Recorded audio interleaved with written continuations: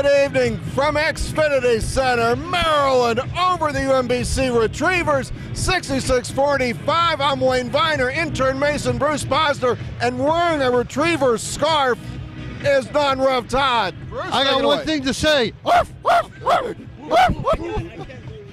what happened, Todd? You were sitting high there for a few minutes. Yeah, well, you know, Maryland wasn't making shots in the first half, and they started making shots in the second half. It's an easy game when the ball goes in the hoop, and Huerter got hot, and Hey, now- maybe maybe the worst half of basketball I've ever seen in this arena. Possibly. 16 points. I mean, 18 points. it rivaled that game against Boston that they lost a few years ago. And number 13 on the UMBC side, supposedly one of the best shooters in America for his height range, was short all night, and that made the difference because early, you said it to me, they could have been up by 15. Yeah, maybe, maybe more. I mean, uh, I love number 11, all right, from Puerto Rico, Maura. Is he? But he was excellent. UMBC's a good team. Obviously, with the level of competition they have, they are doing good and they will do well. Yeah, and you know their their coach is Dave Odom's son, and and they rely on the three. That's how they that's how they build their offense. And I think that maybe it might have been just playing in a big gym like this that sort of it throws that depth perception off just enough that they, That's the excuse. You know what?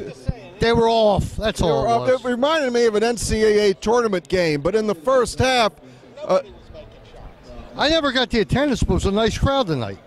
For this type of game at Yeah. this time of the year, is probably 8,000 people here. They More, I probably, think. I think it was I more. I think it was a little bit more. Yeah, it was more. 7,600 for the women's game last night. Wow. How many were really? Really close to that. many. Great. Wasn't much of a game though, was it? No, it was pretty one-sided. Maryland beat Illinois last night in the women's opener. Go ahead, uh, Mason. I just think tonight showed what can happen when you face these injuries. And now Bender, who's already had two ACLs, goes down with a right knee injury.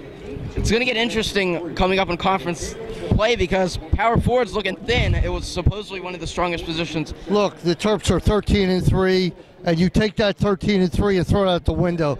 It doesn't mean anything right now. it all starts It's again. one and one right now. They play Penn State on Tuesday. A good effort tonight, but a good second half effort. But everything changes Tuesday. If they play like this on Tuesday, they will get their heads handed to them. and we got to congratulate Coach Church on his 400th win. Yeah, well done, Mark. And uh, I want to. I'm going to talk about this on the Maven tomorrow, but uh, this Justin Jackson thing and this whole uncertainty about when a guy comes and when he leaves, I think it's getting out of hand.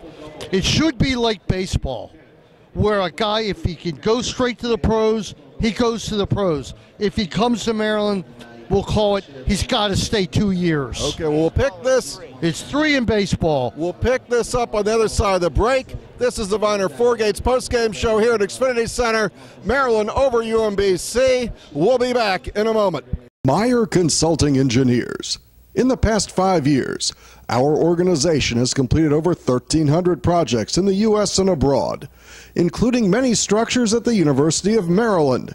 For structural engineering and materials testing and inspection, call Meyer Consulting Engineers.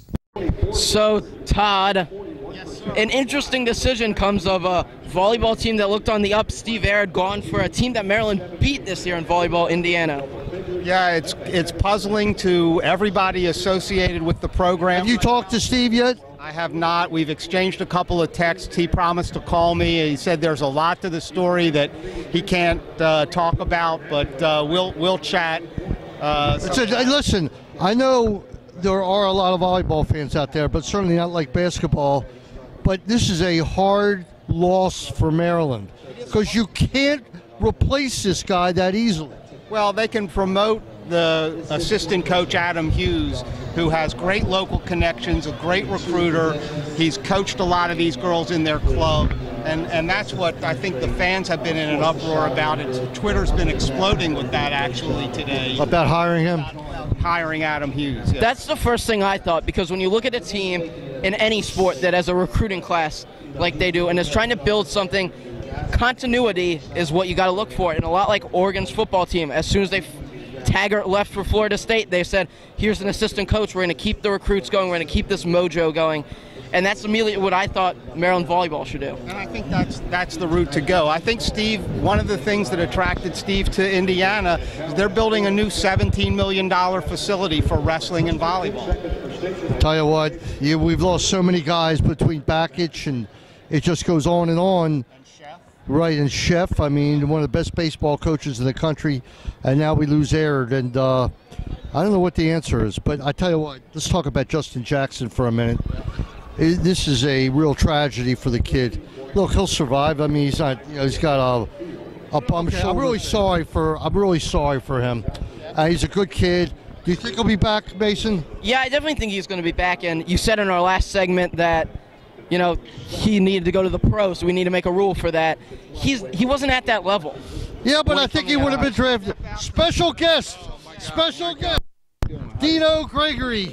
Back, uh, place exploded when he came back.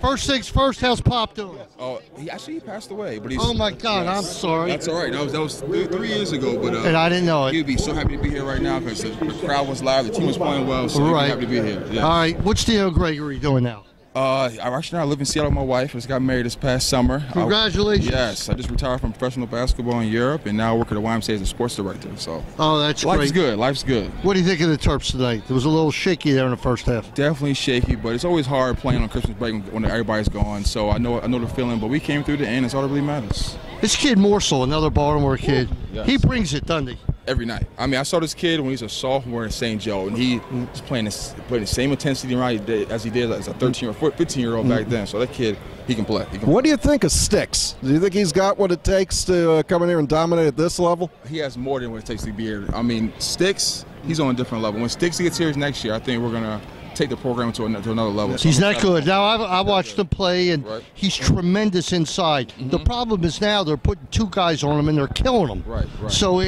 you can't really tell how good he is. Right.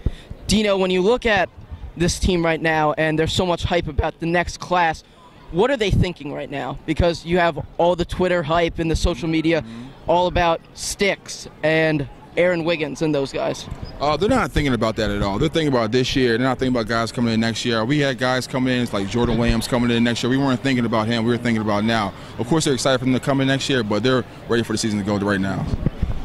How do you generate the intensity that you guys had? You weren't the most athletic. I don't mean- Baltimore. He's a Baltimore I know, dude, man. but I mean, That's whole- where Marshall is. The it's whole- that Baltimore blood, But right or a- wrong. it was the whole team brought in intensity, and sometimes you watch this team and you, you want somebody else to play like Fernando and Morsell. Is that something that you guys brought, or is that a, a coaching thing, or how'd you get that? I think it's a little bit of both. Um, we had Coach Williams, who was the king of bringing it. We had Landon, Greivis. I mean, we had guys who really brought every day in practice and games. And and Darryl's cut the same cloth of those guys. And um, eh, when they play hard, they're hard to beat. So if we had a basketball here, which we don't, could you still uh, dunk it with some oh style? yeah. for sure, for sure. for Oh sure, yeah. For- yes, do you yes. still play a little bit, or you? I done? play in the rec league out in Seattle, so I'm, I'm, I'm in a retirement phase, so I still play, but I'm not like, like I used to be. Well, let me tell you something. Number one, I miss your dad, and I'm sorry to hear that. He's a great guy. Congratulations. Looks like you picked out a beautiful girl you're gonna marry, and uh, you know I miss seeing you. I really do. It's always great having you come back to College Park. Yes, it's a joy being here. Appreciate you guys having me on. I love it. Thank you. As always. Thank you, my friend. you guys. Take I care. appreciate it. Yes. All right. Thank you guys. Go Terps. Go Terps. All right, so to wrap it up for the year, we will be back Tuesday night. We'll be Sports Maven tomorrow. Right. In the nest, big game Sunday for the Ravens. All right. You're going to New York tomorrow to Yeah. see the Giants and the Redskins for whatever reason I don't know, but the Redskins are trying to go to eight Hey. and eight. What Eight a eight. what a Hey. tremendous successful, Okay. tremendously successful year. No, I gotta Well, say Bruce, that. Bruce, now that the year is going to turn, is it time to move on with this lacrosse thing? Can we move No, on to next no. year? We- no, never. We hang with this championship until the Final Four this coming year. We are champions, and you know what? I got a good feeling about this upcoming season. I did not, now I do, but uh, what the heck? That certainly was a highlight of the year. It wasn't even a close second. Women's winning as well, winning all the championships, as you can see in the trophy case. And and the Tewaaraton Award and the conference championship. We swept the whole thing, but it's time to wrap it up here. So thanks for watching. Happy New Year to everyone. We'll be back here on the Xfinity Center floor after Maryland takes on One Penn last State. thing. Thank you to Viner Consulting. Thank you to Jordan and his brother Mason here, And to Meyer Consulting and to Meyer Consulting. And we say thank you to Connie for tagging along with you all the time. it's a tremendous task. It is following right. us around. Good evening All from. Xfinity Center. Take care.